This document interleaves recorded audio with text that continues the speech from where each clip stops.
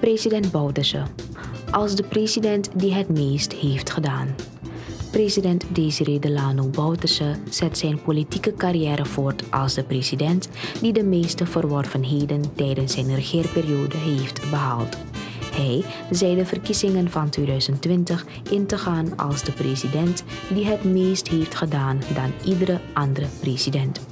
Het staatshoofd reageerde op 16 mei 2019 tijdens een persconferentie op zijn kabinet op vragen van journalisten.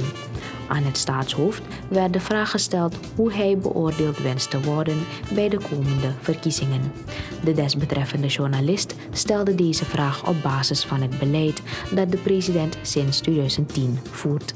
Hij noemde onder andere sociale vooruitgang, economische groei en diversiteit en versterking van ontwikkelingscapaciteit. Www.deboodschap.today.